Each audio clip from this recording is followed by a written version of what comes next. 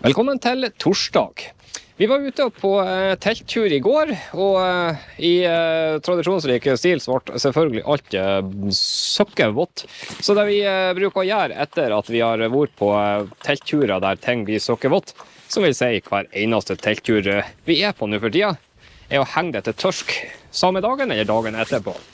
Selvsagt er du ute på tur, så eh, trenger du neppe å gjøre dette før du kommer hjem med en tur. La oss si du er på en eh, ukeslang tur, eh, så er ikke det det største problemet om det blir liggende litt vått i sekken. Men eh, vi skal ikke ut og på tur før tidligst i morgen, pga. at eh, vi har eh, andre ting som vi skal gjøre i dag. Så jeg tenkte jeg skulle bare ta heng ting til tørsk her. Mens det ennå er ørlite grann solgløtt. Nå skal det sies at her er veldig lite solgløtt. Veldig mye kald nordlig vind. Vestlig, i hvert fall. Jeg er ikke helt sikker på hvor han kommer fra nå. Nordvest ifølge værstasjonen. Jeg kan jo se. Anne har vært oppdatert på det. Eh, jeg lurer på om dette kan være Anne sitt, jeg syns det var veldig kompakt da, inni her. Jeg tror jeg var litt mer heldig med min eh, sammenrullingsprosess i går. Ja. Eh, men X-Speed sine underlag var steikende greie. Nå når vi har fått de pumpene til å virke sånn høvelig bra, så eh, har vi ikke så veldig mye å klage på de. Et par eh, småting hist og her, men eh, ikke mer enn det må det jo strengt tatt være. Sånn, det var de. Teltstengeren er det viktigste du tørker. Jeg tror teltstengeren kan få lov til å ligge her og være helt i fred. Jeg har også innerteltet der, som jeg skal komme tilbake til ganske så straks, for at vi trenger å gjøre en annen ting med det også, som jeg skal også poengtere igjen ganske så straks. Eh, Marmot eh, Limelight 2 P-teltet her kommer i eh, verdens største innpakking. Vi har eh, delt det opp sånn at vi har eh, ordna oss sjøl. Du får ikke lov til å fly noen vei som helst, jeg pakker det i lommen. Vi har ordna det med egne små sekker for således å spre volum eh, og vekt litt utover sekkene. Eh, jeg tror vi er relativt glad og fornøyd med akkurat det. Eh, Ytterteltet er det vi har her. Og eh, sånn, pakke lommen og passe på at ikke vinden tar det. Eh, footprinten legger der inntil videre. Og så tror jeg rett og slett jeg Oi, her var det vått, ja. Bare tar og unfolder dette. Se om jeg får klart å heve det oppå det her eh, tørkestativet her. For således Når du skal gjøre dette, så er det viktig at du gjør det i samme retning som vinden blåser i. Den veien. Ikke så prøv å hive det imot vinden, for at uh, du kommer ikke til å være særlig suksessfull med akkurat det. Eh, og det er også veldig viktig å tørke telt og sånt. Hvis du ikke gjør det over tid, så uh, mugler det, rett og slett. Du får uh, også mugler det hull i det her. Og ikke minst så eh, svekker du den strukturelle integriteten på nylon som er brukt. Og det er jo ikke noe bra i det hele tatt. Eh, samme gjelder footprinten. Hvis du lurer på hva en footprint er for noe, så er det bare det vi uh, sletter på bakken. Eh. Først eh, under teltet, for således å beskytte imot eh, litt grann damp, men eh, i all hovedsak kvister og greiner og alt mulig sånt. Og du får heller ikke lov til å fare så veldig langt, sier pappa. Det det òg i lommen. Bra gode, store lommer på meg her. Eh, hvor skal vi henge det hen? Jeg tror faktisk talt jeg tar og henger det bak Anne, så hvis hun snur seg, så henger vi det her. Det var en eh, spiker der som jeg ikke hadde lyst til at den skulle få lov til å ødelegge det her. Sånn. Her kan du henge og forhåpentligvis bli eh, tørr til vi kommer tilbake, vi skal nemlig bort nå ganske så straks. Og jeg kan være bra sikker på at den tida så er det kommet en uh, regn, vil jeg tippe. Ytterteltet, som uh, var det jeg skulle komme tilbake til, tror jeg, skal jeg ta og legge opp et aldri så lite klipper nå, og så kakke på igjen.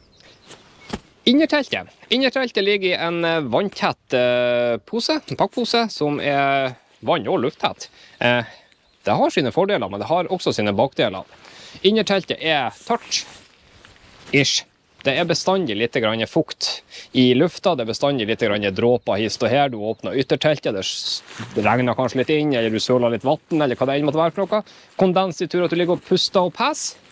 Og eh, det er alltid en fordel å ta deg ut og la deg tørske ordentlig godt. Igjen samme prinsippet som ytterteltet. Det er veldig fort gjort at det blir eh, At det blir kondens, og at det blir ødelagt. eh, Svekka materiale som er i det. Men det er også en annen ting eh, som er veldig viktig å gjøre med dette. For ikke bare kan du få mugg pga. fukt, men du kan også få mugg pga. tur eh, brødsmuler, mat og alt mulig sånt som blir liggende i teltet. Eh, Og går, eksempel fukt pluss brødsmuler er lik mugg. Det er en garantert oppskrift. Yep. I går så hadde vi eh, flatbrød med stor suksess. Det er veldig godt, men det er også veldig smulete. Eh, Så eh, jeg vet at det kom litt smuler. Og eh, det er også en fordel å gjøre det her, selv om du ikke har hatt mat og sånt i teltet. For kanskje så Du drar alltid litt gress, litt mose, litt løgn, litt løv og sånne ting. Og det har en veldig stor tendens til å suge til seg vann som en svamp. Men hadde resultatet at ting holder seg fuktig.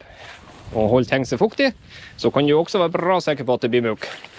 Så jeg skal nå ta og eh, brette her rett veien igjen, og så skal jeg gå og henge det opp.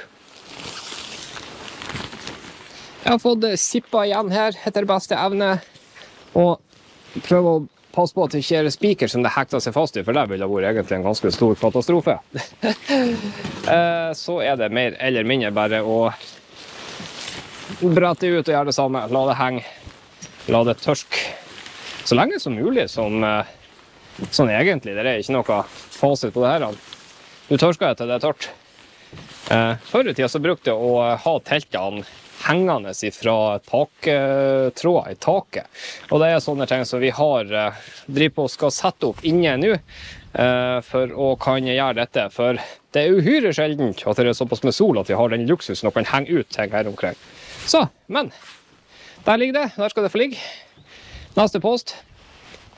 En eh, relativt rask kjøretur senere, så sitter vi med eske her. La meg presisere på denne eska her, så står det 'Til Anne Øksnes'. Adressen hit 8290 Skutvik. Postadresse står det på nytt igjen. Adressen hit 8290 Skutvik. Klimanøytral servicepakke. Det står ingenting om 8294 Hamarøy. Vestfjordveien 66344, hva enn det er for noen adresse de har oppe der. Vi bor på Skutvik. Eh, Jeg er så lei til å kjøre og hente igjen posten til å bli tullete i hodet. Men hva er det vi får? Nei, hvis dere har fulgt med på vloggen, så vet dere hva vi får. Anne vet det i hvert fall. Det er rimelig sikker på at jeg vet hva det er. Noe som føles 100 unødvendig med tanke på at alt skulle være i skjønneste orden med bilen. Eh, Jepp. Det er noe unødvendig, eh, kan man kanskje trygt si. Eh, Men men, eh, teknisk sett er det vel veldig nødvendig i og med at ja, det, altså, føles unødvendig, men er veldig nødvendig. eh, jeg vet ikke hvorfor det er tre ting her Jo, nå husker jeg det. Eh, Det det er, er bare rett og slett um, uh, Å, se, jeg pakka ikke ihop kniven, for at jeg visste at det var en teip der òg. Du det, ja. Det det er, er bare nye bremsesko til uh, håndbrekket. For det at uh, hm. For at den eh, jeepen vi har kjøpt, uh, mangler håndbrekk. Vi håper på at dette er det som er årsaken. Vi vet ikke, men eh, vi vet ikke. Vi, vi håper. Disse har vi også kjøpt ekstra. Derav to ekstra esker. Ja, ja, de har delene. ekstra. Kan jo selge her til 17 000-18 000. Ja, altså, inflasjonen i Norge, den er grotesk. Men vi har også en her, en uh, kurbelvel-sensor. Hvorfor Å ja, tysk. Eh, det dette er, er noe helt annet enn eh, den posen. ja. Rett å ta det i eske, men hvis du vil, sånn. En ABS-sensor til en eh, Volkswagen Passat, som forhåpentligvis skal passe til venstre bakdekk. dekk. Og hvis det passer og ting stemmer, så dette er rota til alt ondt med den bilen. Og så er vi et steg nærmere å bli den kvikk. Men i hvert fall. Lenge før vi får eh, knote oss med alt av deler og sånt her, så eh, må vi vel kanskje pelle oss ut for eh, fukta satt i. Det er faktisk bare 60% luftfuktighet ute. Altså ikke, litt på at jeg ikke vasker klær i dag og heiv ut. I dag vil jeg ha god klestørsk, spesielt Men- på alle den iskalde vindene. Kan hende at de har frøst, men Tørkestativene var opptatt. Ja, de var nok det. Vi trenger å få pakka i hop teltene før nattefukta kommer, og ikke minst før sola forsvinner, og, som er egentlig det samme, men det kan være samme. Kakka på det igjen. Jaggu sant det kjennes ikke ut som at eh, alt her er tørt. Eh, ytterteltet er virka helt uh, knuskende tørt. Samme gjelder for uh, liggeunderlagene og innerteltet, som i all hovedsak var tørt, men så bare for å få ut damp og kondens og sånt. Eh, hengte også opp en pose med barduner her, som eh, kjennes relativt tørr ut. Ytterposen er tørr. Tørt. Alt er tørt. Men vi trenger to stykker for å få pakka det her effektivt i hop, spesielt hvis det er ørlite grann vind. Eh, så det jeg tror vi gjør, er at vi legger inn et kutt, og så tar vi jo på magisk vis eh, puffer alt det her eh, til mye mindre volummessig sett. Var ikke det relativt kjapt? Eh, så vet ikke jeg hva som er relativt kjapt. Fors sa det. Jepp. Dette er den eh, posen som eh, Marmot eh, Limelight eh, 2P kom i. Eh, disse herrene skal riktignok ikke være med, så dere kan egentlig bare ta og pelle dere unna. For der ligger under lagene. De kom i sine egne poser. Ja, de, de gjorde det. Men eh, i forhold til den, til den størrelsen her, så syns jeg det er komprimert ganske så godt. Eneste grunn til at vi har det oppi her nå, det er når vi har den på turrommet, at vi vet hvor den er alltid, at ikke denne blir liggende nedi mellom en plass. Og så blir han avglemt når vi er på tur. Så tenkte vi kunne like greit bruke denne posen her til noe fornuftig. Til oppbevaring, rett og slett. Jepp. Innerteltet har vi forsvarlig tørka og uh, lufta og alt sånt, og ligger nå i en vanntett pose. Så hvis det regner når vi er ute på tur, noe som det mest sannsynligvis gjør, så er det tørt. For det at vi setter opp uterteltet først, noe som er en uh, veldig stor fordel. Sånn, huten er bare nedi der. Det er ikke så komplisert. det skal til å gjøre. Du skal bare være der til vi er kommet opp. La oss ikke glemme stengen. Nei, de er veldig viktige å ha med på tur. Ja, de er For uh, det er et veldig flatt telt uten. Uh, Jepp. Jeg ser ikke ut som jeg får de helt nedi. Men uh, i hvert fall prinsipielt sett akkurat uh, sånn er det det gjøres. Det vi skal se her nå, her ser varmt og godt ut på utsida med sol fra mer eller mindre skyfri himmel. Sa han ikledd en eh, høstjakke som er vind- og vanntett og huva. Nettopp. Det bare ser varmt og godt ut. Her Jeg jaggu tute ta meg så kaldt at man har lyst til å flytte til Sibir. Og så begynner ikke vinden at jeg står og beskytter mikrofonen. Jeg tror ikke du trener for du står med Nei, ja, OK, vinden står i ryggen på meg nå. Ja vel. Ja, men De er ganske tålmodige, de her mikrofonene. Eller tolerante. I hvert fall det vi skal gjøre nå, er faktisk talt å skynde oss inn for således å gå den tradisjonsrike turen. For eh, det er langt varmere der enn det er her. Man kan trygt si at det er langt triveligere temperaturer på innsida, eh, men da til det ekstreme. For selvfølgelig, når det er sol ute på en overskya dag, så er det glovarmt inne. Når det er sol ute på en ikke sky overskya dag, det Så er det enda varmere. Nope. Eh, og også klokka er 17.40, og det ser ut som du ligger ganske godt an i rute til å bli ferdig i eh, korrekt tid til klokka 18.00. Eh, egentlig mellom 18.00 og 19.00. Ja, eh, faktisk, for det her det går relativt raskt å lage. Det er sånn eh, belleburger. Eh, kalkunpanetter med ost. Jepp, og de er steikende gode å ha Ja. i hamburgerbrød. Selv om jeg har fått tips om at vi må, må, må prøve de crunchy burgerne på. Rema. Ja, men, eh, ja, ja, men det kan vi gjerne ha vi på Rema, da, hvis vi husker det. Ja, for de skal ha ost og jalapeño i seg. Uh, hot stuff. Ja, for det liker jeg veldig godt. Men Ja. bruker vi riktignok å ha jalapeño på de her, da? Eller nei, er det habanero eller jalapeño vi har på? Jalapeño. OK. Eh, så hva Er de dyrere, så vet vi om at det er verdt det. Men, eh, Jeg tror det var rundt om samme prisen. ja, men rundt om samme prisen. Det kan det være verdt det av og til, hvis de er bedre. for således å spare inn på jalapeñoen. Ja. Ja, ja, ok, men i hvert fall, uansett. Eh, da tar jeg og finner fram film og alt mulig sånt, for at du har funnet ut av hva vi skal se.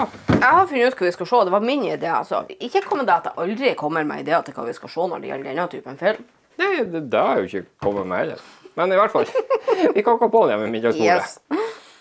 18.01 sier vi at klokka er nå. Så eh, du klarte det i sånn relativt god tid. Ja, med tanke på at eh, det, jeg, har- jeg satte meg før hun var 18.01. Hun var 18.00 når jeg satte meg. Du har ikke sittet i to minutter. Jo. for nå var 18... Ja, ok, greit nok. jeg tror i hvert fall vi var godt innenfor skjemaet. Ja da, den, den skal være mellom 18 og 19, så jeg kommer. Jepp, jeg Jeg var tror... ikke for tidlig.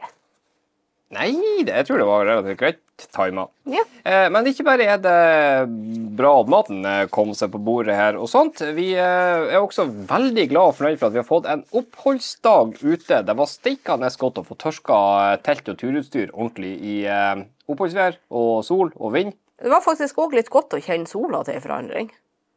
Det, ja, det, kanskje det var det det var. Det, det var den gule, varme tingen oppå himmelen. Derfor jeg måtte ha på meg sånn mørke Ja. ting framfor. Akkurat, ja. Jeg har et svakt minne om det fra de glade 80-åra, men eh, siden da, så eh, nei. I hvert fall, ja, vi skal gjøre noe. Jeg satt oss ned og ete her han eh, Hva du kaller det for? Eh, ostepanatta av kalkun. Yep. Og så skal vi se på Rumor Has It, så du har vært og funnet fram. Yes. Yeah. Det er ikke en bra film, men vi skal se den for deg. Det er så lenge siden jeg har sett den at jeg har ikke noe slags erindring om den i det hele tatt. Det har ikke noe med sjangeren, det har ikke noe med skuespilleren. Filmen er bare med, Og han har 21% på Rotten Tomatoes, så det er flere som er enig med meg. Vi er ikke helt sikre på hva det betyr for noe, men det er, det er sånn eh, 21 grønne fargeklatter der som eh, er litt giffig på hva det egentlig er for noe. Jeg tror det er Apples eget ratingsystem. Nei. Ingen liker det, ingen skjønner det, og jeg tror ikke Apple gidder å gjøre noe med det, for at de har gitt opp. I hvert fall, vi skal gjette, se film, og så tror vi kaker på den igjen i morgen. Med det så sier jeg bare god natt. Takk for at du så på, og vi ses igjen.